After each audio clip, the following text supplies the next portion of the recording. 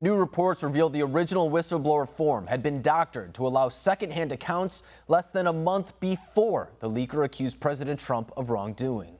When Chanel Rion has the details from the White House.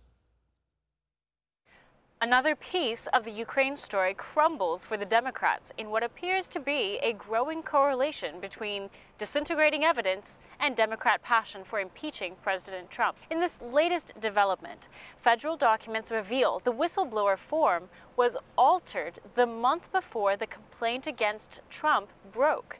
This alteration was no small detail. The form, officially called Disclosure of Urgent Concern, was found to have undergone a mysterious secret revision in August.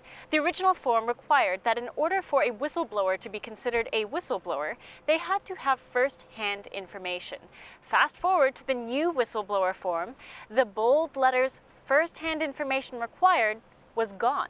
Under this now missing bold headline, was the following requirement. The IG cannot transmit information via the Whistleblower Act based on an employee's second-hand knowledge of wrongdoing. This entire section of the form was outright removed and under opaque circumstances. The so-called Ukraine whistleblower was ultimately found to not have heard the information firsthand, but this alteration of the form allowed the individual to come forward as a, quote, whistleblower. Veterans in the intelligence community say when a policy this big is altered this drastically, it is no coincidence. The next question becomes who would have overseen this mysterious change? Q CIA Director Gina Haspel. Not only would she have known of the change in the document, CIA veterans tell me Haspel is very likely to have authorized the change herself. Haspel has long held suspicious ties to one of President Trump's most vocal critics in the intelligence world, Obama CIA chief John Brennan, a reported Muslim convert and a liberal communist. Brennan is one of Trump's most influential haters, vocally expressing his disdain for the president almost daily. It turns out now CIA Director Haspel was handpicked twice for Chief of Station London by John Brennan himself. A second posting is highly unusual in the diplomatic world.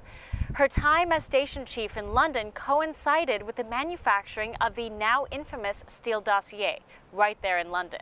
Another rabid anti-Trump former intelligence member was the FBI's Peter Strzok, who made multiple personal trips to London. Intel community notes that this too was highly unusual for a person of his position. Underlings were usually tasked with such trips. Inside sources say that Haspel and Strzok would have had a working relationship. But the anti-Trump connections don't end there for Haspel. Two of John Brennan's main three lieutenants, known as his closest aides, are now working directly for Haspel.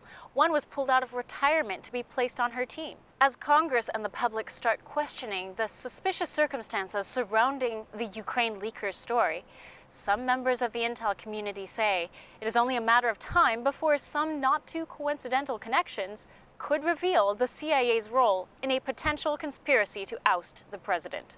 Chanel Rion, One America News, the White House. Want to see more videos like this? Click on the link below and subscribe to One America News on YouTube. And call your cable provider and kindly demand that One America News is added to your lineup. Call and subscribe today.